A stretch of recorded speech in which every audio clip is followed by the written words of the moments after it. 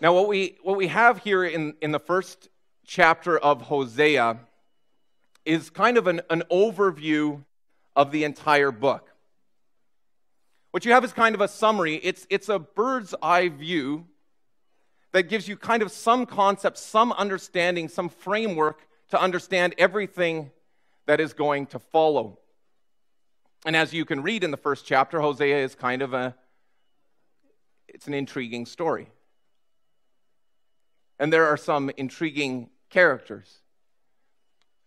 You have Hosea and you have Gomer, you have a prostitute and you have a prophet. It's, it's unusual to say the least, complicated. Maybe you're sitting here this morning and you're wondering, what exactly does this book have to say to me? And maybe you're wondering, you're looking at this book and you're saying, well, how in the world is this going to have relevance for our life and for our time and for our day? And I want to say that this book actually has incredible relevance for our day, an incredible relevance for our time, and an incredible relevance for the church today. But to understand that, in order to, to kind of comprehend the, the relevance for our day, you need to understand something of the background behind the story of Hosea. And so that's where I want to start. We read that the word of the Lord came to Hosea, son of Beeri, during the reigns of Uzziah, Jotham, Ahaz, and Hezekiah, kings of Judah, and during the reign of Jeroboam, son of Jehoash, king of Israel.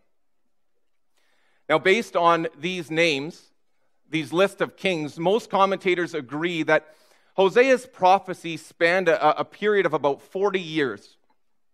So he prophesied from about 755 before Christ to about 715 before Christ.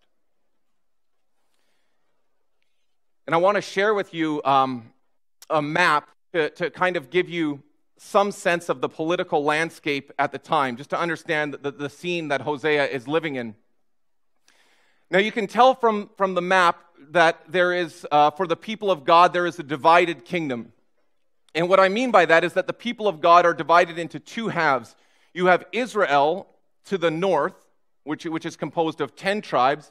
You have Judah to the south, which is composed of two tribes.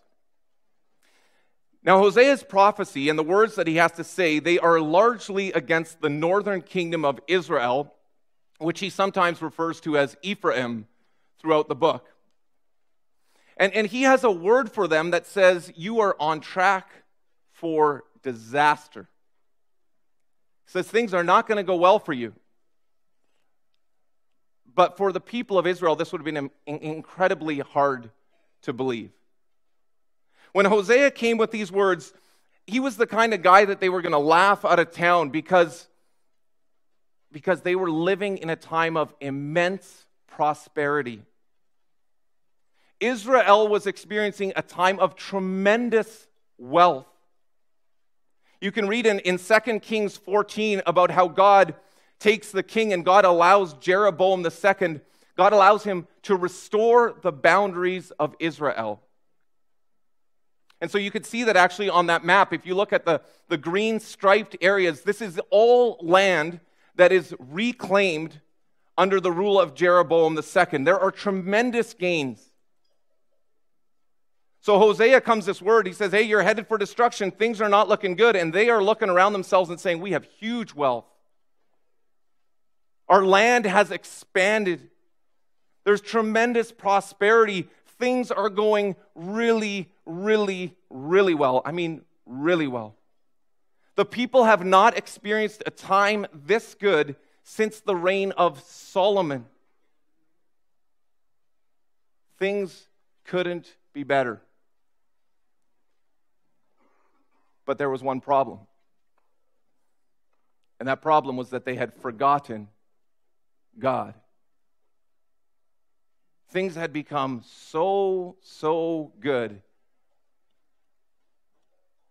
They didn't really need to depend on God anymore.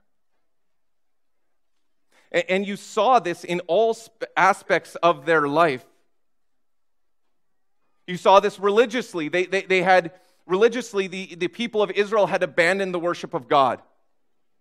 And that's not to say that they had forgotten to worship him entirely. What I mean is that they basically just worshiped him as kind of one God among many. They were willing to offer God some token appreciation, but their hearts, their hearts were not entirely devoted to God. You saw it politically. Politically, again, the people, they would walk around and they would have the name of God on their lips. But when push came to shove, they were relying on their political alliances. They were re- relying on their strategic connections to keep them in power. And morally, morally, things were a disaster. There was pride, and there was arrogance, and there was greed, and there was a tremendous amount of sexual sin, a lot of it connected to the worship of other gods. It was a time where the people's hearts were far from God. But it was prosperous, and there was wealth, and they really, really felt like they were in power. And it's right in the middle of all of this that God raises up Hosea. Now, we don't know a lot about Hosea, actually. Other than his name, we know very, very little about him, but we do know this that he was a faithful servant of the Lord. He was all in when it came to the glory of God. We know that he was willing to suffer so that God would receive glory. He was willing to be humiliated so that God would receive glory. He wanted to make sure that whatever he did was faithful and in line with the Word of God. His words and his actions, they stood as a testimony to the people around him about his just his incredible love for God. And Tim and Aaron and Morgan and Rose, in many ways this morning when you stand up, your pledge is, is a desire to be faithful servants of the Lord. You're standing up and you're saying, I want to be all in when it comes to the glory of God. And our prayer is that God would more and more create that type of a faithful character in you, that He would develop and grow that so that you're willing to suffer, so that God would get the glory. That you're willing at times in your life to be humiliated yourself so that God would get the glory. That you would have an attitude that says, I want to be less so that He would be more. That your words and that your actions would just, would just be a testimony to the people around you. And that's not easy. I think we all understand that. That's not easy. But it certainly wasn't for Hosea either. Hosea was called to a very, very difficult task. And this morning I want to spend some time in chapter 1 looking at three things that God calls Hosea to do. The first thing is the shocking one, I think, and that is that God calls Hosea to love an unlovable person. The word of the Lord comes to him in verse 2, and he's told, Go and marry a promiscuous woman. The word there actually, eh, maybe you could better translate it as go and marry a woman who is going to prove unfaithful to you. And she's not just going to be unfaithful in the sense of adultery. No, no, this woman is going to be a harlot. She's going to be a prostitute. She is going to sell herself. I want you to imagine for a second how humiliating this was for Hosea. I want you to imagine what it would have been like for him to have people talking and, and gossiping and, and pointing out his wife. You could almost you could almost imagine that there would be times where people would take him aside and they'd say, Hey, Hosea, Hosea, we should talk. And they would say, Hosea, why in the world would you love a woman like that?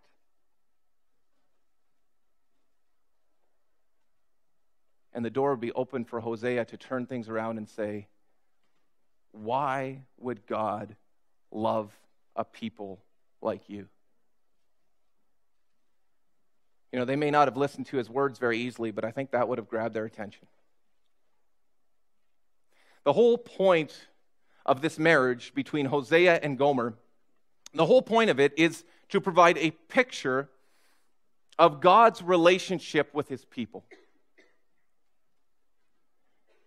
It's to provide a picture of the most intimate relationship of marriage because that's the way that God feels about us. God wants you to know that he, he, the love is the most, the most close, intimate kind of love you can imagine. Intimate, loves you, cares for you, is concerned about you, has provided for you, blessed you, given you a lot of good things. And yet God is saying to these people, but you've been unfaithful. You're a land of unfaithfulness. You serve other gods. When it comes to needing help, you look to your strategic alliances and your political connections. That's where your trust is. And God says, I'm, I'm like that jealous husband. God says, You've made a, a public mockery of my love. God says, You've humiliated me and you've disappointed me time and time again. I wonder if any of you have had times in your life where you feel unloved. I wonder if you've had times in your life where you've really, really disappointed someone. I know that I've had a time like that. Well, not just one time, I've had lots of times, but this one we're going to. When I was about 18, living in BC, one of the things that my friends and I love to do is we love to go 4 by 4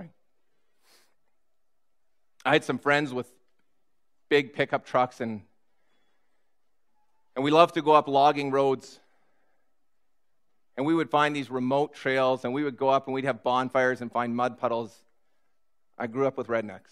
That is my confession. And you know, my parents were always worried about this. My parents would always say to me, You guys, you got to be careful. You got to be careful. Guys, think about it. Be careful. And I would always be like, Yeah, yeah, you know. I was 18. Well, one day, one day we went down to the river with a group of friends. There was five cars full of people. We were all going down to go four by fouring, and we were driving through the countryside at breakneck speeds. Each of us trying to be braver and dumber than the other. And apparently, I was the dumbest of all. At some point, I decided to pull out and try past several cars, and I just, just T-boned a big F-250. Needless to say, it did not go well. It was Geo Metro versus F-250 and I was left with a, a, a nice souvenir to, to remember it by. And I was taken uh, by ambulance to the hospital. There was blood everywhere. It was a big mess. But I remember thinking the entire time, I had one real thought in my mind, and that thought was, how in the world am I going to explain this to my dad? And some of you are laughing because you know exactly what this feels like. Well, my dad showed up at the hospital and he was upset. He was upset, and it was a uh, it's kind of a weird mixture of, of care and concern and, and anger and frustration, and also just a lot of disappointment. A huge amount of disappointment. Well, a few hours later, after the doctors had kind of put Humpty Dumpty to, together again, um, I had a friend of mine drive me home. And I remember coming into the house and and I just I was so ashamed, I was so embarrassed that I decided to kind of just slink right down to my room and to crawl into bed. And a bit later the door opened and my dad came in. But instead of instead of yelling at me and telling me what a fool I'd been, he just sat down on the bed and he said, I love you, son. He said, I love you. My dad has been gone 10 years. And there are a lot of things that I forget. But I always remember that. That feeling of knowing what it's like to be loved unconditionally. That feeling of, of knowing what it's like to be loved regardless of your performance. That sense of what it's like to be valued even with all of your flaws and faults. And trust me, I have quite a few. Well, that's the way that God looks at us. And that's the way that God values us. And that's the that is the kind of grace that God wants to pour out on us. That's God's love and it is different than any other any other kind of love that you're going to find out there. I want to share with you a quote this morning that highlights an important distinction. Religion says if we change, God will love us. But the gospel says God's love changes us. See, in this book, Hosea doesn't change Gomer. He doesn't go to her say, Hey, hey, Gomer, if you change, if you finally change, then I will love you. Hosea says, I am going to love you in such a way that you can't help but change. He says, I am going to pour out my love on you in a way that changes you. That's God's love. And Hosea is willing to be publicly humiliated to show that kind of love. Just like Jesus Christ. Jesus Christ did not come, as we sometimes think, Jesus Christ did not come to tell us that, hey, when you get everything together, when your life is on track, then I'll love you. Instead, Romans 5, verse 8 God demonstrated his love for us in that while we were yet sinners, Christ died for us. So many people miss the joy of the gospel because they spend so much time trying to clean up their lives, trying to clear up their mess, trying to be good enough that God will love them. That, friends, will never happen. God will love you as you are, but He wants your hearts. He wants your hearts. Sad part of the story of Israel is that they, they continually rejected God's love. They didn't. They didn't give him their hearts. They continued to reject God's love, and so God called Hosea to a second task. And, and, and that second task was to warn the wayward. God says, Hosea, I want you to warn them. Now, if Hosea's marriage was to be a real live testimony of the relationship between God and his people, then his kids were to be a real live testimony of his warnings for people. Hosea, in verse 3 through 9, we're, we're told they have three kids. And each of them is given a name that warns of judgment. Now, I know some of you think you've had a pretty hard time growing up, but I wonder what life was like for these kids. I know something of what it's like to grow up with a weird name.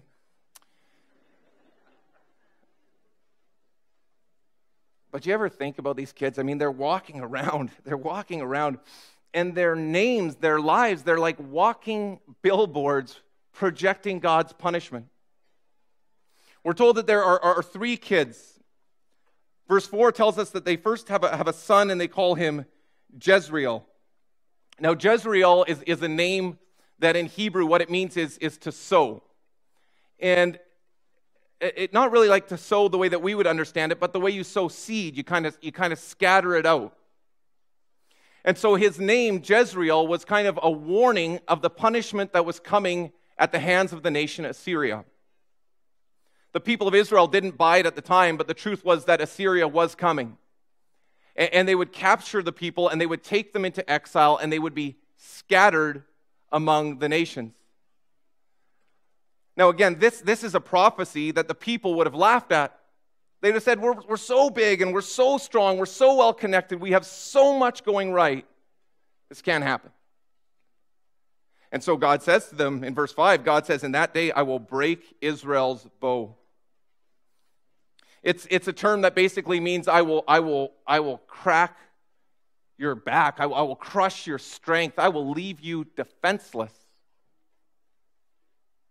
So that's Jezreel. Second child that we're introduced to is Lo Ruhamah. It's a name for a girl that means not loved. Could also mean something like uh, no pity, uh, no mercy. It's like no compassion. What you have to understand is the intensity of the warnings are ramping up. And God is saying, I am going to withdraw my love from you. I'm going to pull back my favor from you. If you don't change, you will not experience my love. You will be not loved. Now, the interesting thing is that um, Judah, in verse 7, we're told, is spared this type of punishment. So Israel's on track for justice, but Judah will be spared. Just a quick comment about that. The, the reason for that is because under the reign of Hezekiah, the fourth king that's listed, Judah does turn back to the Lord, not with their whole heart, but they, but they turn and they seek the Lord. This is exactly the time that Assyria is coming down and they're conquering Israel. They capture Samaria, they take the people captive. But this is also the time where Judah turns and um, God saves them with a miraculous victory, which I'd like to talk about today, but I don't have the time. So for next time. But that's Lo Ruhamah. The last child that's named is Lo Ami. And this child's name simply means not my people. For you are not my people, and I am not your God. This is a heavy, heavy warning. God says, God says, I've had enough. God says, I'm about to turn my face from you. God says, I'm about to turn my back on you. the people continue to reject God, and God is being patient and patient and patient. I know that we see these names just listed off very quickly, like one, two, three. But the reality is that these children would probably have been born over a period of five, maybe 10 years. So God is giving them opportunity and opportunity and opportunity to turn back, but they don't. Why is that? Because life is too good.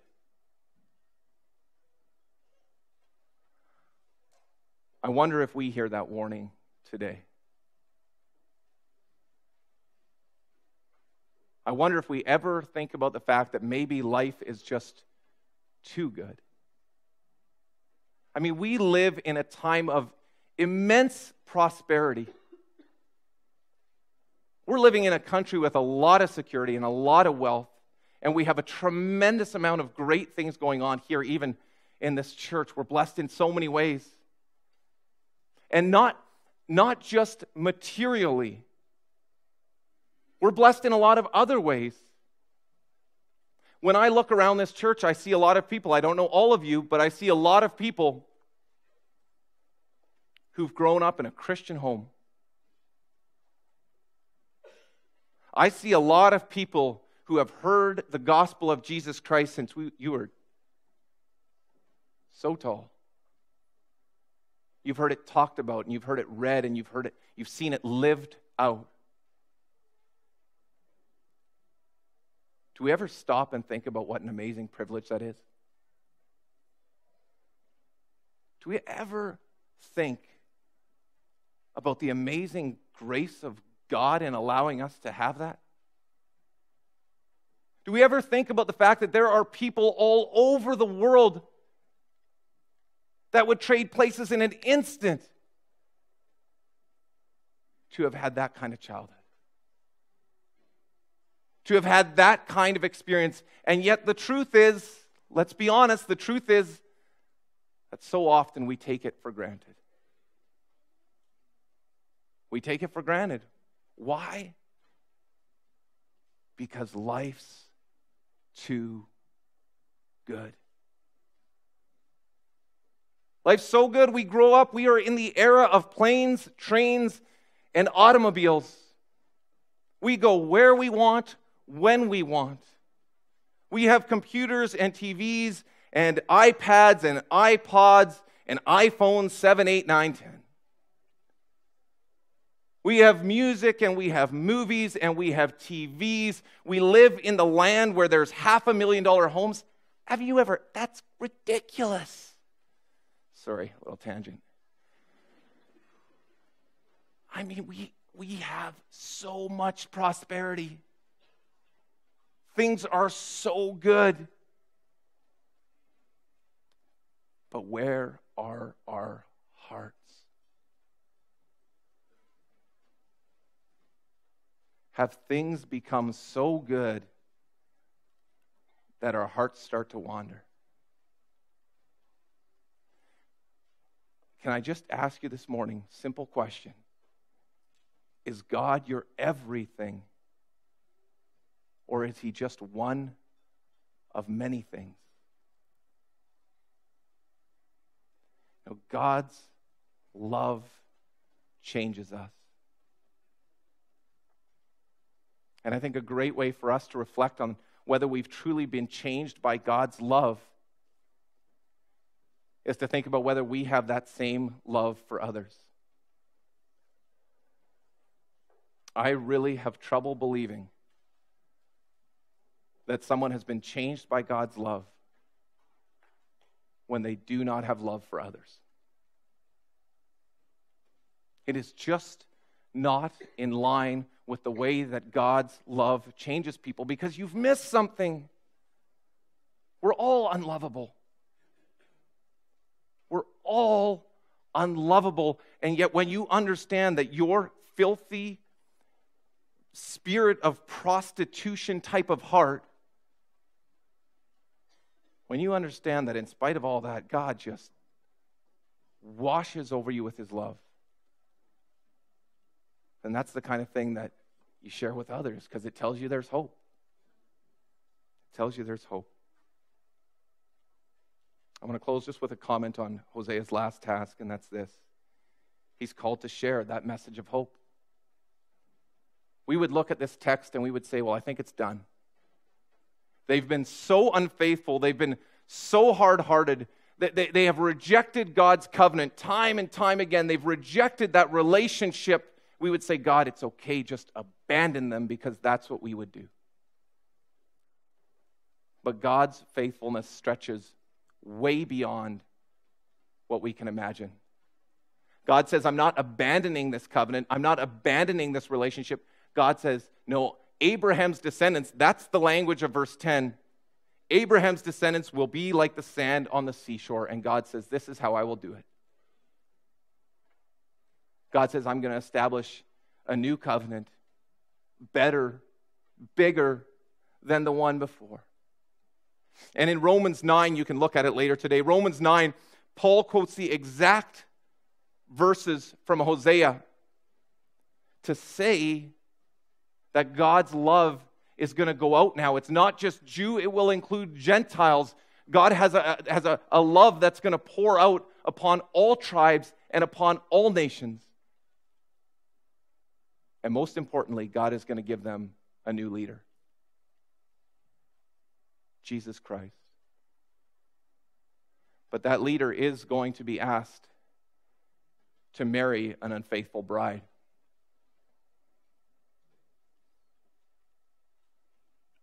But Christ will love that unfaithful bride with such a perfect love. Christ will love that bride with the love of God in such a way that it heals broken hearts and God will, will remove from that unfaithful bride a spirit of prostitution, and he will place in it a spirit of faithfulness. And that leader will love the lame and the leper and the blind and the prostitute. And that leader will go to any length to show that love. He will be humiliated and scoffed at and suffer and be rejected and hang on a cross. But he will love that bride.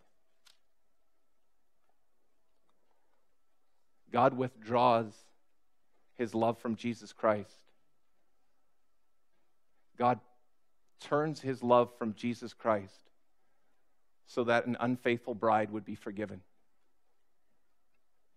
And God turns his face away from his own son. God turns his back on his son, Jesus Christ, so that we would have new names, so that we would be called children of the living God.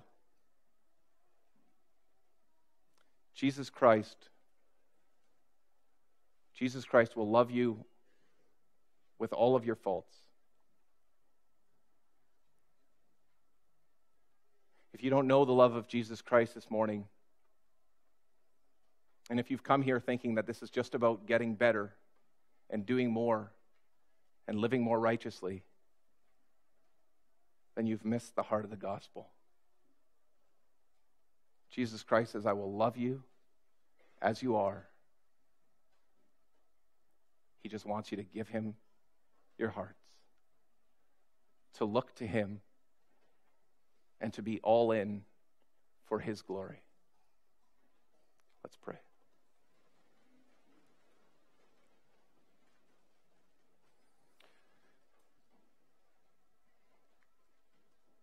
Lord God, we realize this morning as we reflect on your word, we realize that you have a love that is beyond anything that we can imagine. You have a grace and a compassion for sinners that we don't have for sinners. You demonstrate love for us in a way that we so often don't demonstrate to others. And Father, we pray that you would convict us. Would you convict us that you love us? Would you convict us of your grace and of your kindness? Would you have that just pour over people today? There is something so incredibly liberating. There is such freedom in letting go of our sin, letting go of our burdens, leaving those things behind and knowing what it lo- means to, to just be loved with all of our faults and with all of our flaws. And when we experience that love, we can't help but just pour out that love on other people.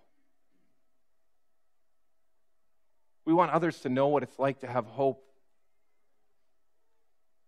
We want others to know what it's like to, to get off of, of the rat race of just trying to be better and to know that you are loved in Jesus Christ.